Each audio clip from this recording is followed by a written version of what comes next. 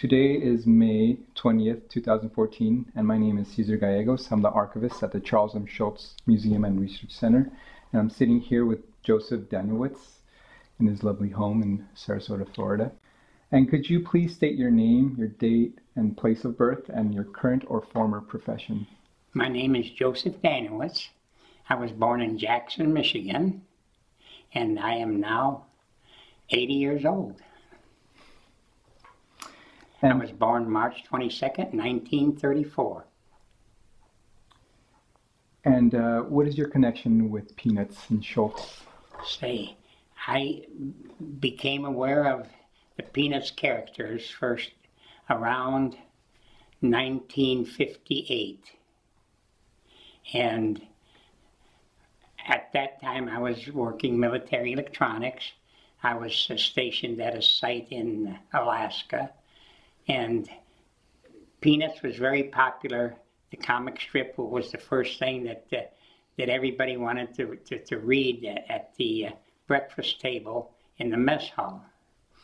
And uh, we, we would uh, usually get a chuckle from Snoopy's antics, and uh, it, it, was just a, a very uh, pleasurable event that we looked forward to every day.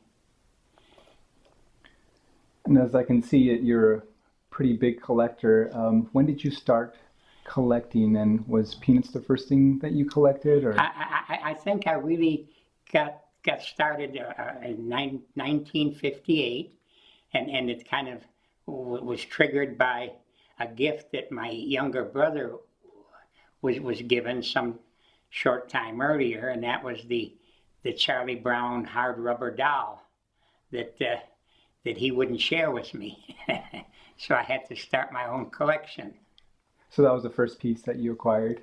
Uh, I didn't. I, I, well, actually, I, I, had I had actually uh, claimed his for a while, and then he reclaimed it. So then I had to start my own collection. But I, I think I, I, had it for uh, uh, for several months before he he finally reclaimed it. But that that that was where my interest was triggered. That and, and, and the uh, reading of the comic strips daily in the morning with the officers in the, at, at the, uh, in the mess hall in Alaska. Do you still have that Hungerford doll? The, the rubber doll? Yeah, that, that's the one that's... Oh, that's the one that's up there. Yeah. How about your brother? Does he still have... He still has his. wow. He might have it in the safe.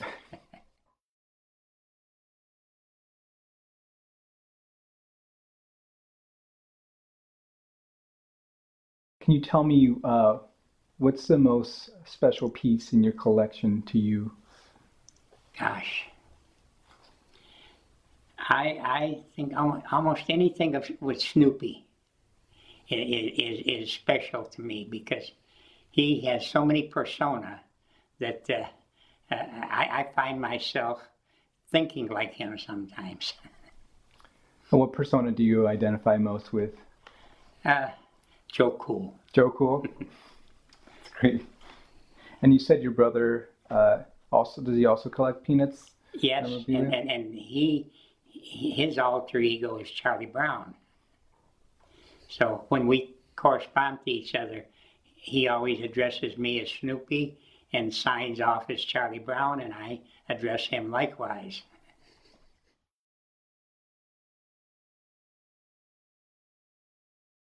Can you talk a little bit about that as to why you connect with that particular well, persona? Well, because my name is Joseph and, and, and I uh, go by Joe mostly.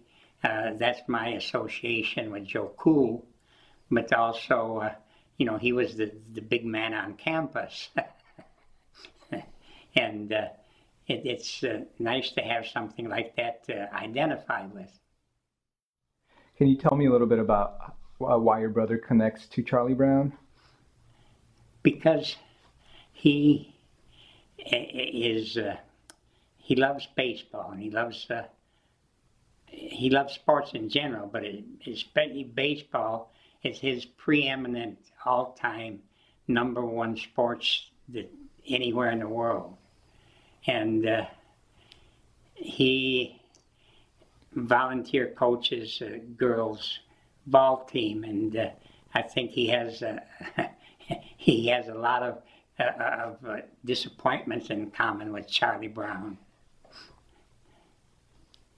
And in fact, my brother loves baseball so much that he had established a Joseph and Helen Danielewicz uh, fund, a Field of Dreams, and that he selects one of the girls on his uh, softball team that has to maintain high scholastic uh, uh, grades, and he then I think gifts a a thousand dollar scholarship to that girl, It's great. and uh, that's one of his pet projects. It's great. which uh, incidentally, uh, that is at the Jackson, Michigan High School, and it's the same school that Tony Dungy attended as a as, as a student, and I think Tony's both parents are teachers in the Jackson, Michigan school system.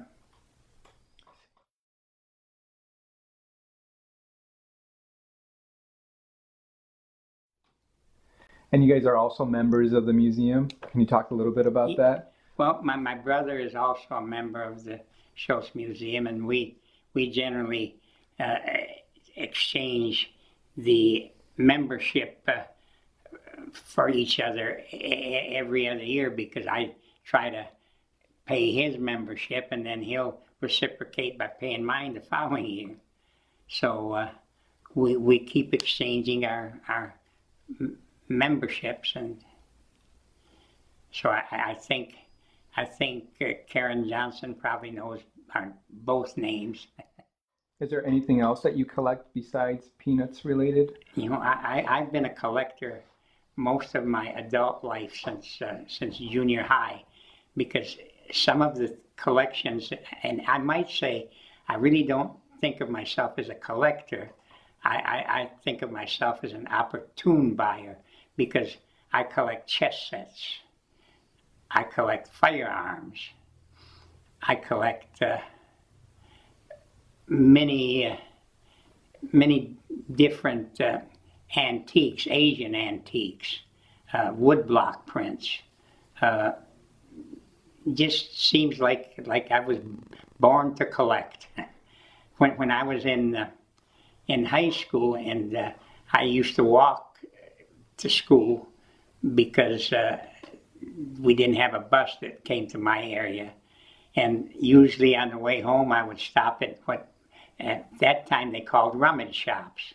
And they were just junk stores where people would uh, uh, end up items that they didn't want that were for sale and uh, very reasonably. And I would always stop and see what kind of treasures I might find, like a, a vintage Edison cylinder player that you could buy back then for $15. And they worked.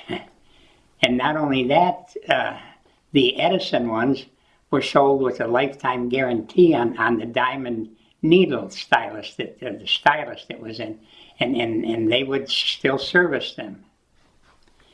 And uh, to say I, I had one of those, but uh, I just I was was born to collect. Wow, so you said high school was the first Yes. first time you started. and, and, and that would have been in, uh, uh, I, I think I was a freshman and started high school 1949.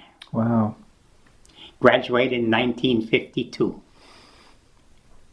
And aside from that, is there anything else that you collected or that you really really love to collect or One one of the other significant areas of collecting uh, importance to me are vintage cameras. Because when I was in high school, I thought that I would unseat Weegee as the pro-eminent photographer for Time Life. But uh, that didn't happen. But I still continued uh, uh, some interest in photography and acquired some of the professional type cameras. And when I got to be an adult and these cameras were now obsolete, I could afford them. And so I, I satisfied my unfilled fantasies of cameras that I couldn't afford in their prime, now that they're vintage, uh, I have them in my collection. So I have currently a collection of about 450 vintage cameras, ranging from the uh, uh, wooden body uh, bellows cameras and twin lens reflexes and almost everything except Leicas because that's a collecting field in itself and, and very uh, sometimes unaffordable. so I, uh, I collect more ordinary box cameras and uh, believe it or not, a good part of my collection came from Goodwill stores where they would sell box cameras for 98 cents back in the uh, 60s because there just wasn't a market for them. And sometimes when you're a collector on a budget, you pick to collect things that there's not much competition for. And that's, uh, I say I consider myself an opportunistic collector. I, I buy the cheap stuff and hope that it becomes valuable. You also said you collect uh, classic cars as well, or you had a collection of classic cars? Uh, I, I'm like on a very low low end uh, because uh, that, that that's truly a, a you know rich man's uh, uh, hobby. But it, it, again, it started. My, my dad had a 1930 Ford Model A Roadster, and I was about three or four years old. I can remember riding in the rumble seat of it, and uh, and uh, I just wanted a copy of that same car.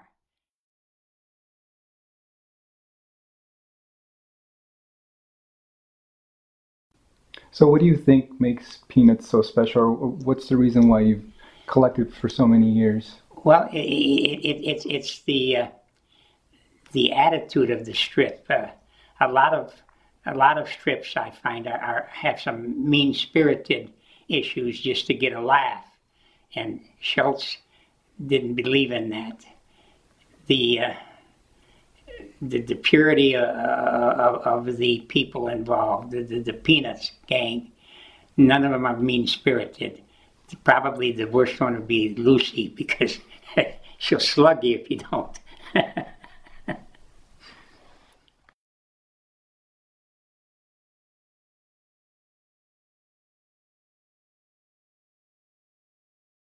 And can you tell me um, how your collection developed over the years? Was there something that you really focused on in collecting, or is it just overall just peanuts?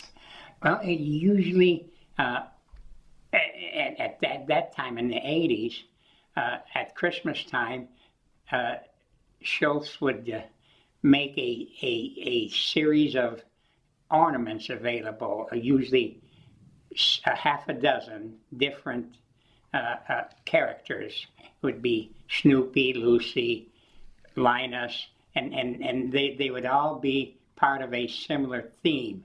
Like they would either all be in a in a vehicle of some such. One would be in a in a boat, uh, a, a, a, truck, a plane, and and these were very inexpensive ornaments. They were like uh, retailing for either two dollars or two ninety five, and usually right after the Christmas season, the stores that had any left would have would put them on sale for half price, and I would go in and, and, and buy a, a whole set of them every year, and I was looking forward to it.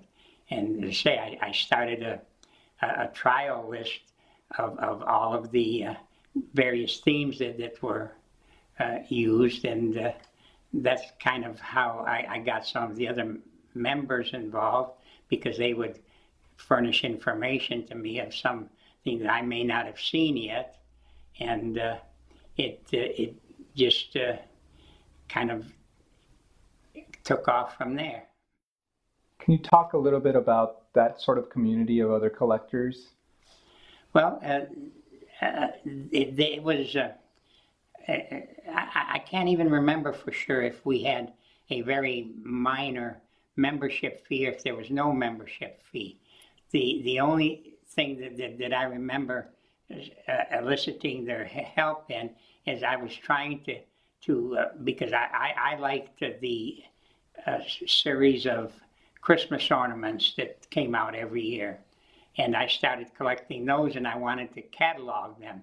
So I, I, I attempted to do a, a trial uh, compiling uh, of the ones that had been issued so far. And of course, asked for uh, other members to submit uh, a photo of, of ones that, that they had that maybe the other part of the country didn't know about and so on. And so I started uh, compiling a, a what they call a trial list of uh, ornaments, and uh, and it, it got overwhelming because there, there are the, the licensing agreements that uh, certain things are, are made just for distribution in certain countries and not necessarily available in the United States that uh, that that you just can't uh, can't find them. So, what would you say would be the rarest thing that you you have in your collection? I think it might be something other than one of the, the Peanuts characters. I, I think one one of the things that uh, that that I uh, am happy to have is a is a letter from one of Schulz's former secretaries, Pat Lytle, I think is the way you pronounce her name, and uh, I had contacted the Schulz uh, office about uh, intending to, to, to start a Peanuts Collectors Club. And, uh, and called and, and talked with Pat, and, and I got a response, and, and we started uh, a, a group of Snoopy lovers, uh, started a, a club uh, with, uh, with, with uh, members uh, that, that were all Peanuts lovers. And can you tell me what year that was? Uh, that, that had to be in, in the early 80s, very early 80s, maybe uh, uh, 1983. Over the years, you've collect or you've amassed quite an amount of Peanuts memorabilia. For you, is there a process behind that, behind going towards this collection, figuring out what you want to do with it, what you what you want to collect? Uh, how how do you approach something like this? Well, I I think that uh, with, with the Peanuts characters, uh, almost anything that I don't have that, that's, uh, that's well executed, I, I want to add to my accumulation or collection. And uh, I, uh, I, I, like the, the more elaborate uh, items. The, the more elaborate they are, the better I like them. The illuminated displays and so forth. And is there a thrill behind finding those pieces for you? Uh, you see, which Is there a thrill behind finding those pieces, those rare pieces? No, I usually uh, uh, scan through the uh, the department stores and, and, and also in recent years the uh, big box stores like uh, Lowe's and, and Home Depot are, are stocking a lot of Peanuts characters for decorating for use in, in yard decoration and, and including the inflatable uh, ones now and so on. And I always have to make a point of checking those out. What about in the earlier years, like in the late 50s, 60s? How was collecting back then? Was it the same kind of formula, or did you? Well, it, th- there was there was much less uh, choice of what's available because uh, I think as far as ornaments, uh, th- th- they were usually limited to about five or six in, in a series at a very nominal price of two ninety five or thereabouts. Whereas uh, now the uh, with the resin cold cast uh, ornaments and some of the more elaborate animated and and uh, and and sound uh, added uh, can be pretty pricey. and not near as affordable as as the early ceramic uh, ornaments that uh, that were offered. But you still have to go and look, and uh, and you have to try to acquire the, anything that you don't have.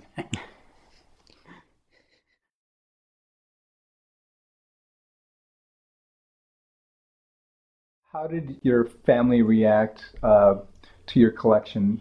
Well, I think that they really uh, uh, share my interest in it, but also this makes it very easy on them when it's gift giving time, when it's my birthday or Christmas, because uh, they, they try to sneak to see uh, what, what I may have acquired recently so they don't duplicate. But, but it's a real challenge for them to find something peanuts that I don't already have. And, and when they manage to do that, they're very elated.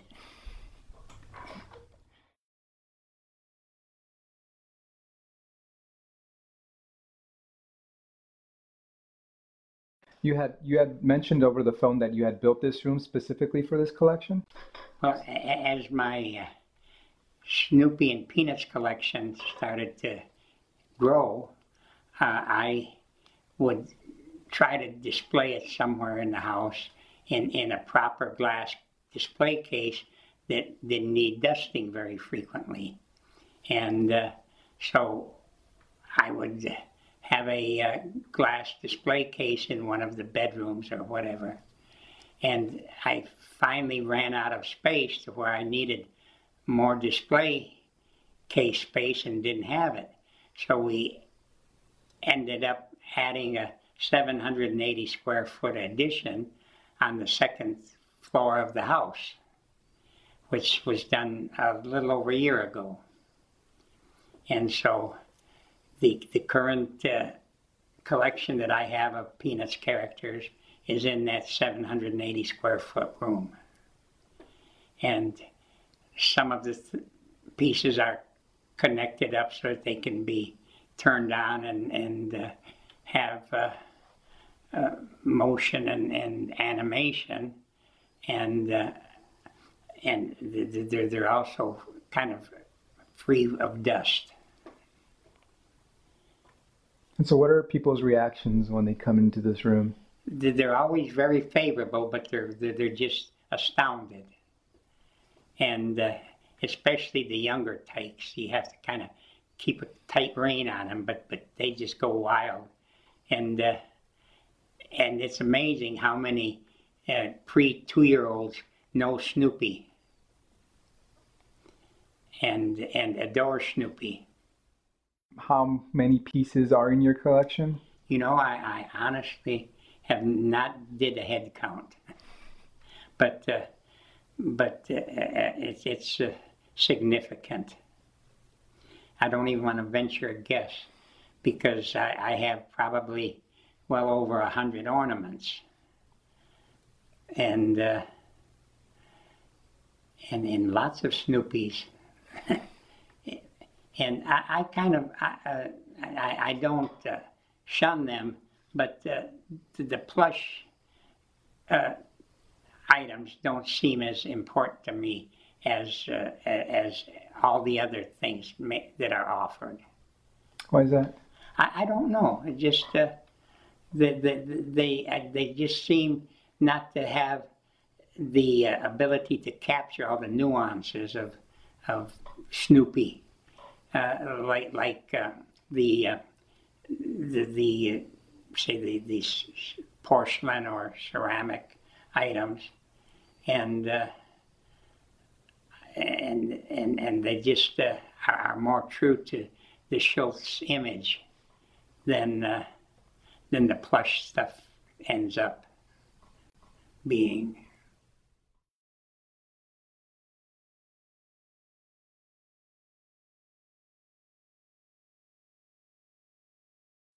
Can you tell me a little bit about how this collection is not only contained in this room? I notice you have some pieces around your, your home. Can you talk a little bit about that? Well, I, I, think Snoopy is, is so lovable that I have a, a Snoopy garden that uh, some plants around a statue of Snoopy. And uh, I have a, a lot, lot of different uh, things like the Mother's Day plates and, and Valentine's plates, uh, all with the Peanuts theme characters. And almost anything with peanuts on it, I, I, I have a home for it. I notice you also have a mailbox out in front. Oh, yes, I have a, uh, a mailbox uh, uh, at, at the entrance to my front door that I use as a message center. People drop off my mail or, or, or notes for for something that I need to communicate with them. And it's it's guess what? Snoopy reclining on his doghouse. Well, in, in, in, in the backyard my, behind my house, I have a Snoopy garden that is some selected plantings surrounding a cementitious statue of Snoopy in all of his glory saying welcome. In fact, I think that there was some artist that actually, uh, some maybe five or six years ago, actually made a bronze uh, sculpture of Snoopy that was very, very pricey. I can't remember exactly, but it was it was uh, ex- in excess of a thousand dollars. A regular bronze statue of Snoopy. I don't know the the size, but it was not diminutive. It was it was a, a fairly good size Snoopy, but it was beyond my means to acquire. So there's a so there's a, a price point that you won't go over when you see something. Uh, pretty much. I, I, am uh, I'm I'm kind of a say uh, a uh, judicious buyer.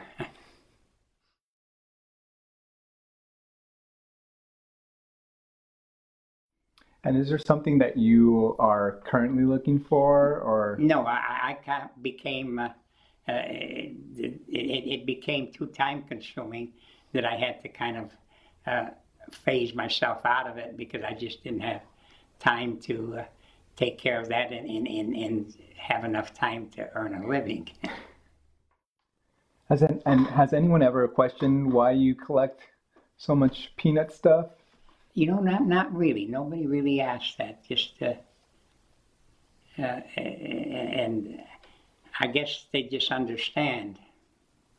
Is there anything that you can think about that's related to peanuts um, in your life that's outside of the collection or that we haven't really talked about? Uh, it, it's uh, something that uh, I know some of my, my friends and my children enjoy uh, as having something that they can gift to me that they know I'll appreciate. And it's generally any Peanuts character that I don't already have. And uh, uh, and by that I don't mean the character, but but that particular pose or whatever. And and they, they always kind of smile and, and giggle with glee when they manage to give me something that I haven't already acquired. And uh, I spend a good bit of, of present opening time opening Peanuts characters.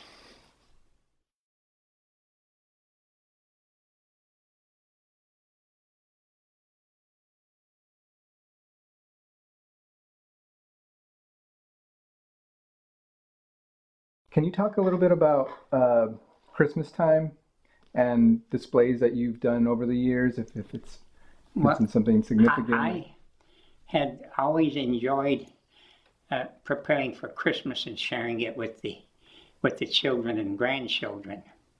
And when Peanuts became popular, there was a, a whole new supply of, of Christmas decorations, some that were lighted and animated that were just so wonderful to work in to, to your decorating season.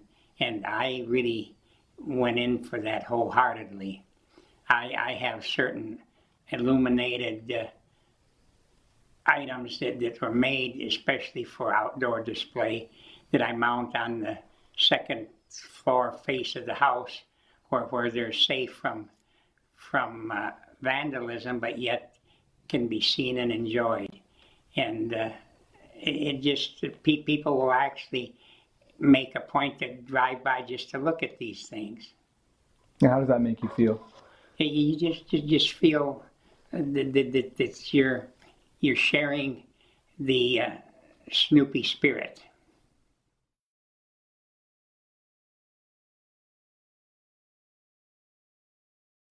It's kind of how I enjoy spending my time at uh, Christmas time.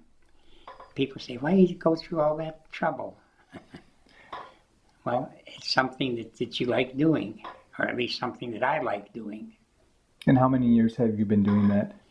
Uh, probably, let me think, it had, would would have to be uh, uh, since the uh, very early 60s. Because I, I came to Florida in 61 and uh, and I shortly thereafter bought a house and this is where I display my my Christmas decorations and so on. So this be from from the early 60s that I've been been doing fairly lavish outdoor decorations.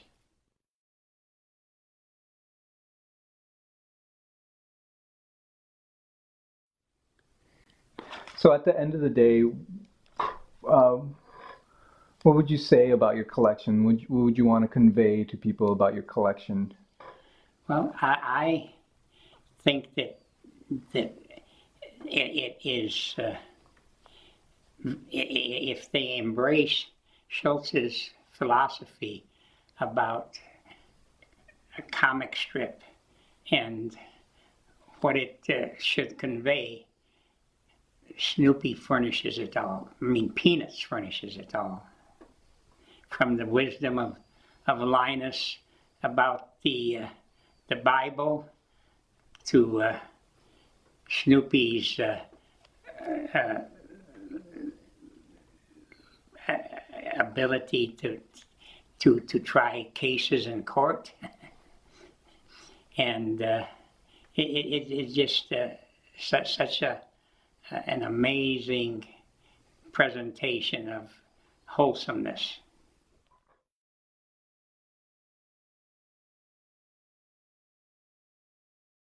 So I know you, you didn't get a chance to meet Charles Schulz, uh, but if you had the opportunity to talk to him and talk to him about the strip and about just peanuts in general, is something that you would like to say to him? I, I would just like to express how I feel he has really made a change in in in the way comic cartoons are portrayed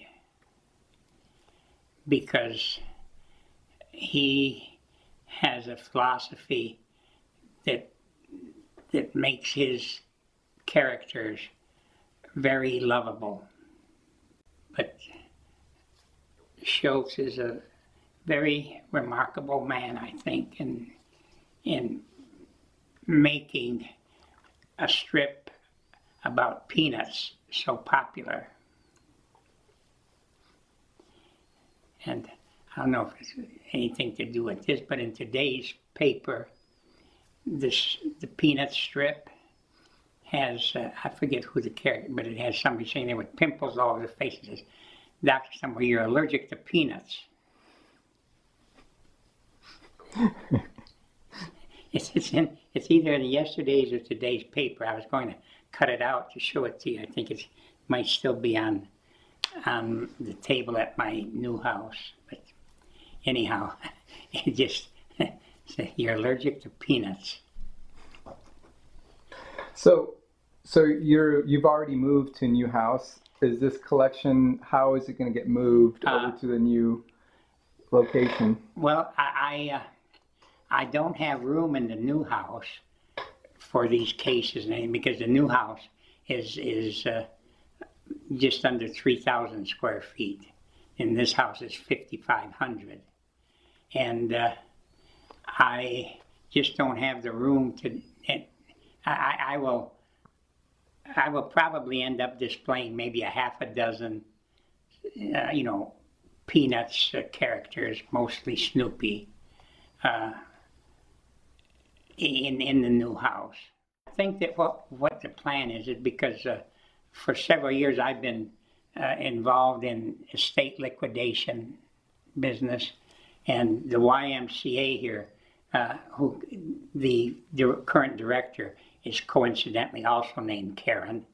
Uh, I, I've done a lot of work for. They they would would do a uh, tag sale for me. Uh, of course, they get a percentage of it, but uh, uh, there's uh, certain things that uh, are just you know expendable that you don't you don't have room for them. You got to get rid of them. Well, thank you so much for taking the time to meet with us and, and Well, talk to us about I, your this is really a pleasure for me because this this is something that is just just like I, I do it because I love it.